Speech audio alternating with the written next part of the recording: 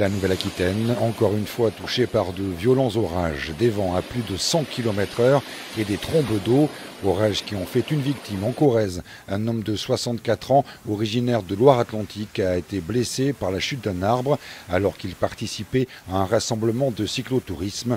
Le sexagénaire a succombé à un arrêt cardio-respiratoire. Les dégâts sont particulièrement importants à Charente et en Dordogne. Plus de 100 000 foyers étaient toujours d'ailleurs privés d'électricité ce jeudi.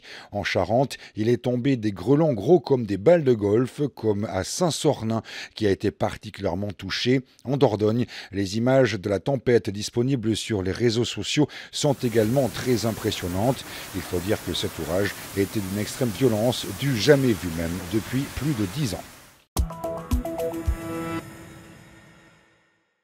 Les orages ont fait apparaître des nuages avec une forme étrange et assez rare, notamment au-dessus du bassin d'Arcachon.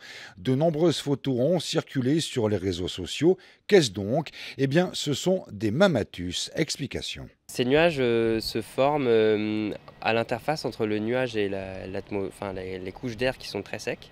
Et au niveau de ces nuages, il y a des forts euh, courants ascendants, subsidents, enfin dans tous les cas très turbulents, qui se mélangent à l'air sec et qui forment en fait euh, des, des, espèces de boules en fonction de l'endroit où elles se produisent euh, au niveau de l'interface.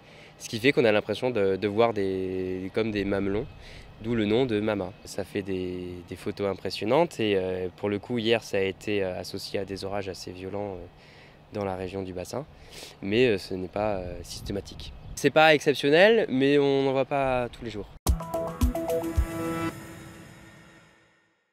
Intempérie toujours, décidément. Il y a quelques semaines, sa liste de Béarn, souvenez-vous, a subi de grosses inondations. Les dégâts sont importants et la solidarité s'organise.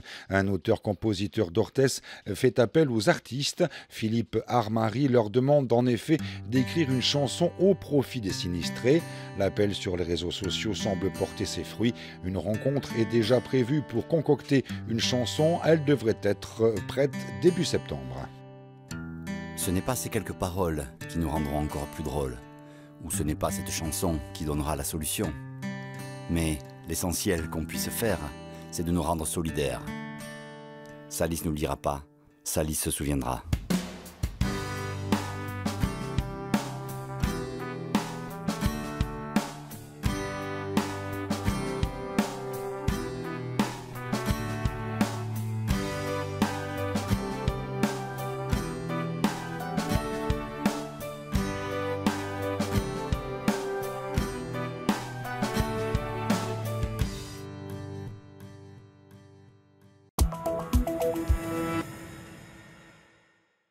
Si à Bordeaux, le pont de pierre est désormais réservé aux vélos, eh bien les cyclistes bayonnais, eux, aimeraient bien avoir de la place sur le pont Saint-Esprit.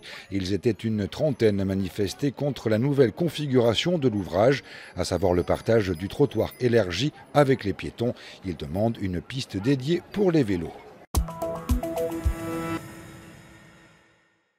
Les ponts étaient en revanche à la fête à Limoges, une tradition avec de nombreuses animations nautiques. Forcément, il s'est aussi passé beaucoup de choses sur les rives, concerts, spectacles et autres concours de molki par exemple, une fête qui a attiré des milliers de personnes.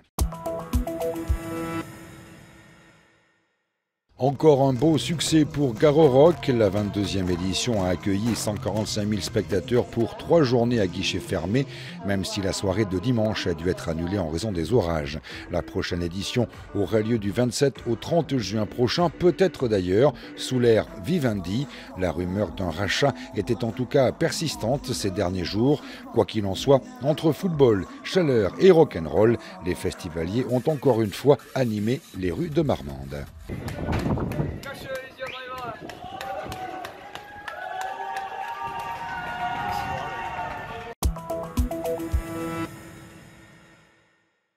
Welcome in le château de Cotine. Bienvenue donc à Saint-Privat, où a été construit cette magnifique demeure au XVIIe siècle. Un château estimé aujourd'hui à 1 700 000 euros, avec ses neuf chambres, ses quatre salles de bain, sa piscine de 15 mètres de long et ses 12 hectares de terrain. Un bien majestueux donc, qui peut être acheté pour la modique somme de 10 livres sterling seulement, soit le prix d'un billet de tombola. Petit bémol, pour y participer, il faut habiter l'Angleterre, l'Écosse ou le Pays de Galles. Autre condition exigée, traduire en anglais ces deux expressions très frenchy, les carottes sont cuites et ça ne casse pas trois pattes à un canard. Autrement dit, it doesn't broke three patons at the duck et the carrots are not al dente. Les jeux sont ouverts jusqu'au 12 juillet. L'actuel propriétaire des lieux, un philanthrope britannique, veut reverser 5% de la mise totale de cette tombola à une association d'aide aux sans-abri. Le reste permettra de financer des logements bon marché en kit. Et pour terminer, une belle vidéo signée Laurent Théier, photographe à Sud-Ouest. Il naviguait entre l'île de Ré et l'île d'Oléron lorsqu'il a été rejoint par un banc de dauphins. Ça n'est pas en soi rarissime, mais cela donne toujours de beaux moments. Les dauphins ont joué longtemps avec les vagues créées par le sillon du bateau.